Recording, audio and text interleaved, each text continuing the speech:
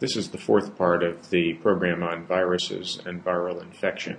In this part of the program, I'll deal with the mechanisms by which viruses cause disease. The critical elements of viral infection that I will discuss here include the modes of transmission of viruses between hosts, the spread of viruses within the host once they begin an infection, and the various modes of infection that viruses can induce. Viruses can spread from one host to the other by a number of different routes, as shown on this slide. Several are transmitted by ingestion, such as the viral enteritis or hepatitis viruses. Some can be spread by respiratory droplets or even aerosols. Chickenpox is an example of the latter case. Some by contact with the skin or penetration through the skin, such as by animal bites or even by direct contact. Several of the viruses are transmitted uh, sexually and some parenterally, either by the blood-borne route or by arthropods. For most viral infections, when they infect a new host, they begin to replicate locally where they have been inoculated. In some cases, the virus may initiate an infection at a secondary site if, if it is equipped to spread to other cells, or even to a tertiary site. I'll give examples of each of these. As an example of a virus that replicates locally, I have chosen rotavirus. This is an enteric virus that uh, infects the epithelial cells of the GI tract only, but doesn't really spread outside of the GI tract. So here we have a virus that is replicating at the site that it's inoculated, but does not spread in the host. Well, poliovirus is also a virus that is inoculated through the gastrointestinal route and it does infect epithelial cells. The virus may be shed into the stools even before symptoms occur. However, with poliovirus, there is a viremia that occurs from the intestine, and the virus is tropic for neurons in the uh, spinal column and the brain, and uh, may cause paralytic polio in some cases of poliovirus infection.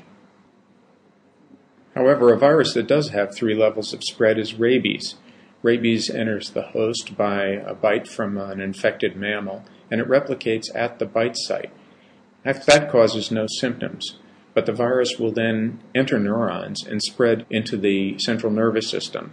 Ultimately, the virus can ascend to the brain and cause rabies encephalitis.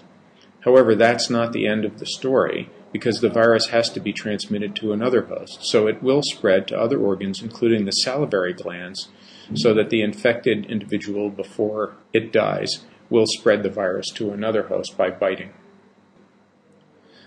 The spread of a virus within an individual host is what we refer to as viral tropism. This means that the virus has a predilection to infect certain cells when it finds them. Tropism is determined by the species, since some viruses can infect uh, some species quite efficiently, but not others at all. It may be influenced by cellular receptors, such as the case of HIV, in which only CD4 lymphocytes are infected by the virus efficiently. Or it could be affected by the intracellular environment, meaning that the virus requires certain machinery and certain types of cells in order to replicate, and that machinery may not be found in other types of cells. Viral infections may damage the host in a variety of ways.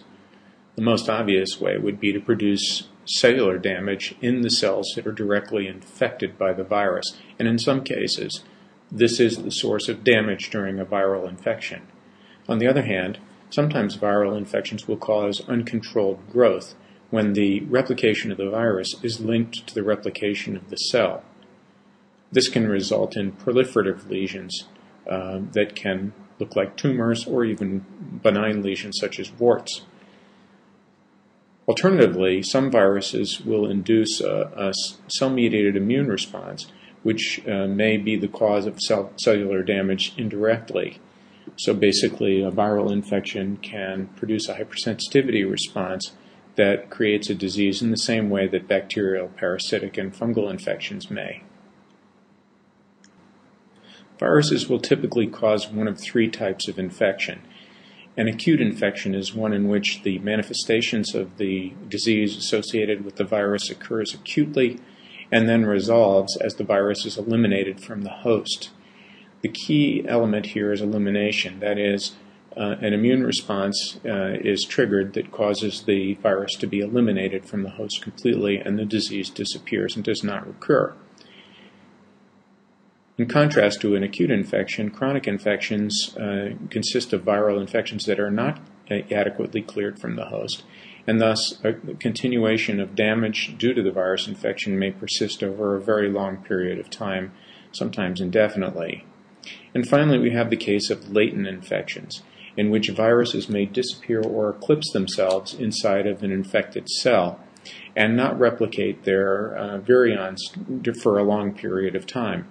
During that period of time, the virus is said to be in latency.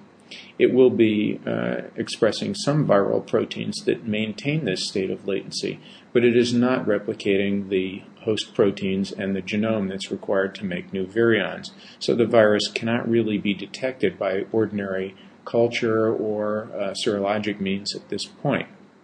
However, the virus may remain in this latent state for months to years and not reemerge until some trigger has uh, developed that causes it to go into an active replicating state. At that point, the virus may uh, cause manifestations of the original disease or some modified course uh, of uh, infection and disease um, based on the fact that it is now recurrent and the host has some level of immunity. So here are some examples of uh, viral infections that fall into these three main categories. Influenza is an example of an acute infection. It causes mild to severe symptoms during the acute phase, but then it is cleared from the body and the virus is eliminated. In contrast, HIV, the hepatitis viruses, and many others may cause chronic infections where the virus will persist in a subset of cells over a very long period of time, continually producing some damage to the host. And then, as an example of latent infection, we have chickenpox with recurrent zoster. Chickenpox is an infection that's known to occur in childhood, but some of the virus may remain latent in sensory ganglion cells in the spinal column and emerge years later uh, as an eruption of herpes zoster. For any given viral infection, the outcome may be determined by a number of different factors. Uh, the initial inoculum is one. Uh, obviously, the more virus that's inoculated at the outset, the more severe the infection is likely to be. The site of inoculation also may influence the course of infection.